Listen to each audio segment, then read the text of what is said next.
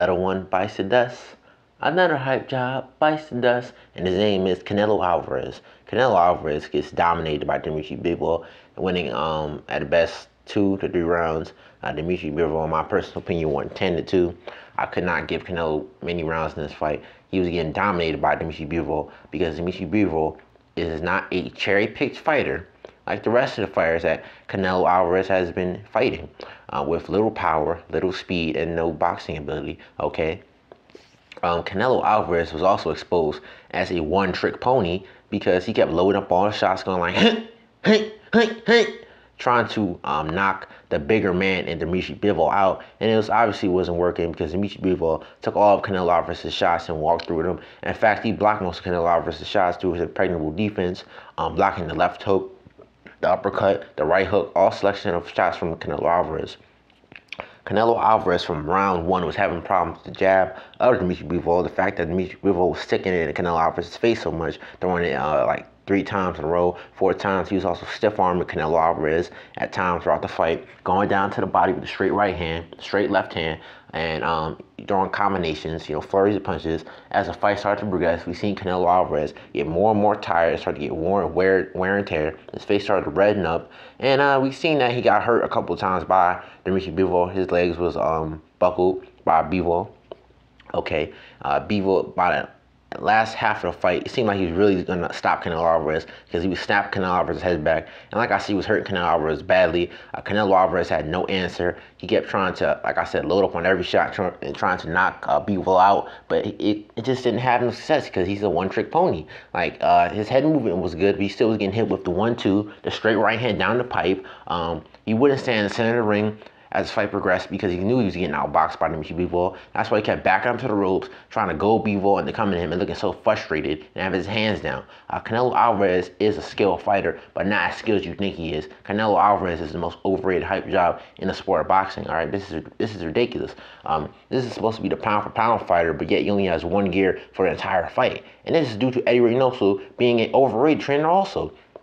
Eddie Reynoso, and now for for this year, three fighters have lost in a row. Julio Cesar Martinez against Chocolatito. All right, we already know what uh, Oscar Valdez got dominated against Shakur Stevenson, and now Dimitri Bivol dominates Oscar Valdez. So what does that say about, um, you know, Eddie Reynoso as a trainer? He's not that good of a trainer because those fighters, we know what they all have in common. They all have power, most definitely, but they're all flat-footed, have no little, little to no boxing ability. Okay, and Canelo Alvarez is another thing why he lost his fight because he had no um, he didn't have much hand speed, all right? He had no footwork. Uh, Dimitri Bivol was easily pivoting off the ropes against Canelo Alvarez. Even with Canelo Alvarez would um, get him against the ropes, and he was still block shots, okay? Um, he was staying in the center of the ring. He was bouncing on his toes. Canelo Alvarez sitting there flat-footed, trying to plow forward, but Instead, he's getting pushed back by the bigger Dimitri Bivol. Dimitri Bivol is using his jab, going down to the body, throwing combinations.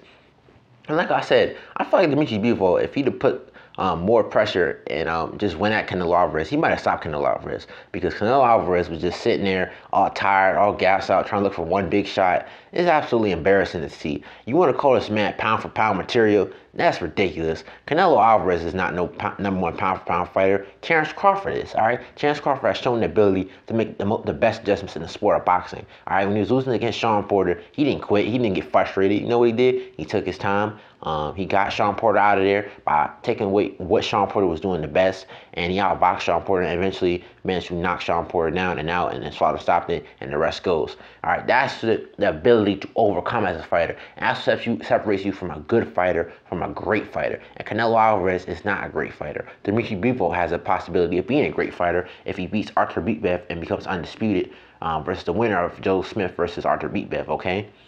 That being said, though, Canelo Alvarez, go back to 168 where you belong, man. And even then, you're not beating Jermall Charlo if he's in the right mindset. You're not beating Demetrius Andrade. You're definitely not beating David Benavidez. David Benavidez is going to bombard Canelo Alvarez with every punch in the book and slaughter Canelo Alvarez. If Dimitri Bivol was able to back Canelo Alvarez up multiple times throughout the fight, especially towards the later half of the fight, what do you think Demetrius, Demetrius Andrade, um, Charlo, and Benavidez is going to do. Benavidez the most because Benavidez is extremely aggressive. He goes down to the body a lot and um, he throws uppercuts, right hooks, left hooks. He throws 11 punch combinations. This dude has extremely fast hands and he's bigger than Dimitri Bivol, okay? And I see him stopping Canelo Alvarez in about 11th, 10th round due to uh, punishment. Canelo Alvarez, if he was getting hurt by Bivol, he's definitely going to get hurt by um, the likes of those three fighters. Demetrius Andrade can outbox him and dominate him based off his power, his time and ability, and slickness. Uh, Charlo, if you don't come in here, you know, trying to pity pat with Canelo, I think he's he can go in there and, and defeat Canelo Alvarez in a competitive fight. Uh, Canelo Alvarez, but he's been exposed as what he is a slow, flat-footed fighter who has power, but is over reliant on that power, and is a one-trick pony and has little to no good boxing IQ. All right, he's not he's not that much better than what he was when he fought Floyd Mayweather. A, 40, a, 40, a almost 40 year old Floyd Mayweather dominated him, and it clearly shows he hasn't really gotten any better, with the exception of his head movement. I already said that Erislandy Lara beat him. Uh, Gennady Golovkin beat him. Daniel Jacobs was giving him problems, but this is the first fighter to push back Canelo Alvarez and make Canelo Alvarez respect in the ring. So I can definitely salute Dimitri Bivol for that, for being the underdog when it clearly wasn't the underdog. I predicted in my video that many people were gonna uh, underestimate Dimitri Bivol and he might even get robbed. They tried to rob Dimitri Bivol. Uh, they had a 115 to 113, when in reality it should have been 117 to 110 because Canelo didn't win a single round. He was getting out jabbed, uh, getting beat down, and just had no answers, man. That's another thing about Canelo Alvarez. He struggles with the jab, all right? The jab of Dimitri Bivol was giving Canelo Alvarez so many problems in the ring, and um, he was consistently throwing it. And Dave Benavidez has a great jab, so does Jermall Charlo. If those fighters are able to use their jab, put their combinations together, they're going to beat Canelo Alvarez down, all right? Canelo Alvarez his counterpunching ability only works when his opponent is standing flat-footed in front of him. And even then, a flat-footed fighter, how will he deal with the size of Benavidez in the ring? Benavidez is so big and so strong and fast and accurate. Canelo Alvarez is not going to look good in there against him.